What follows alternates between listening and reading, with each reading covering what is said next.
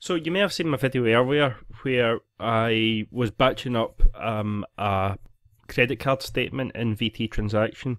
Now I got a comment which was a, a fair comment. It says, "Come on, Chris, this is uh, everything in that is a payment. What if it's mixed? What if it's payments and receipts?" So I've got this bank statement here.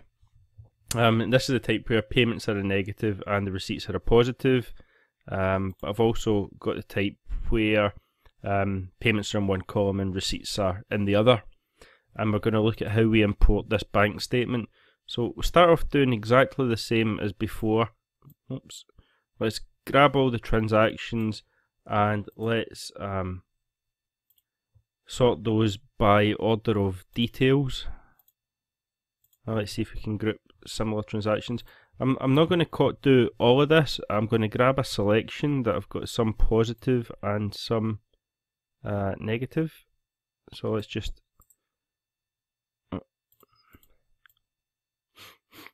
let's just copy that bit there across.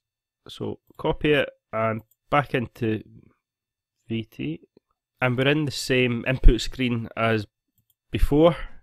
Um, and we just want to again uh, copy that from the clipboard.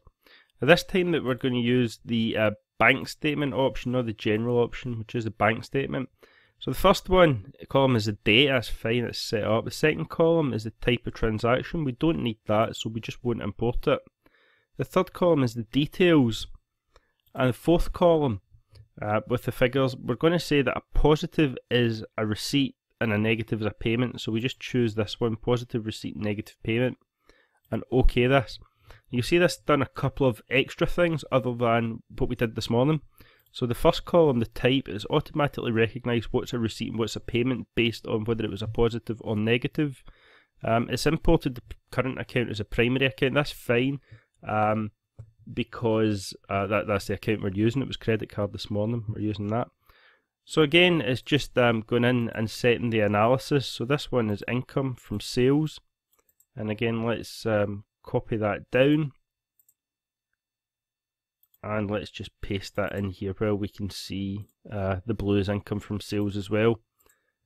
And we'll just set this up. This is insurance other. And again let's just fill down.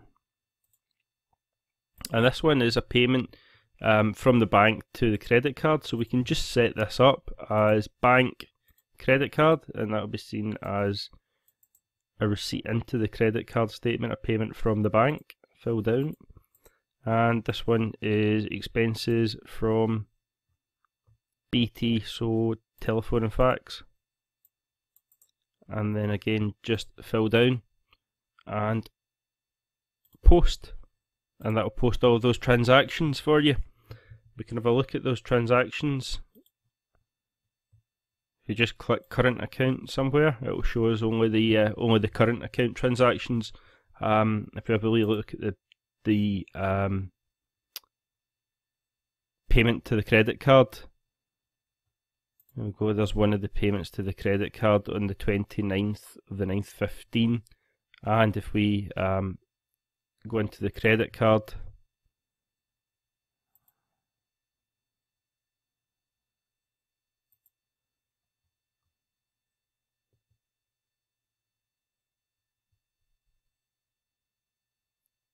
you'll see that that payment there. I was just looking for the um, the payments from this morning, but I think I've deleted most of them already. I can't have done.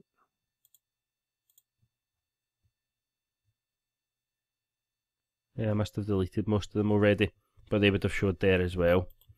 Um, and let's just have a quick look at the second type of account. So that's the type where in and out's in separate columns. So again, I will select all and sort them by column C. I'm only going to pull in a couple this time just to show, so I'll pull in the insurance ones. Uh, no, I'll pull in some payments as well. Uh, sorry, some receipts. So let's copy that, across to VT, oops,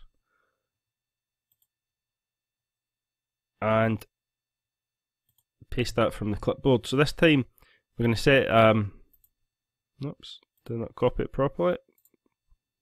Yeah, I've not copied the, didn't copy the date.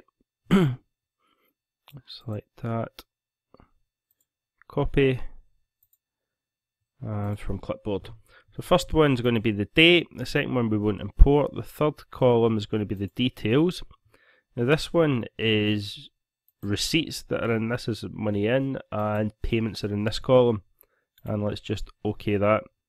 Let's get rid of those rows that we don't need. And again, it's, it's done exactly the same. Um, it's set up the receipts on the receipts and the payment on payment. Set it up to come out the current account. We just need to set the analysis. So income, sales, fill down, and then um, expenses, insurance, other, and fill down. And then we just post those to the account, and that's them gone. So that's the, the two different bank types of bank statement, and they can easily be imported into VT transaction, hopefully saving you loads of time.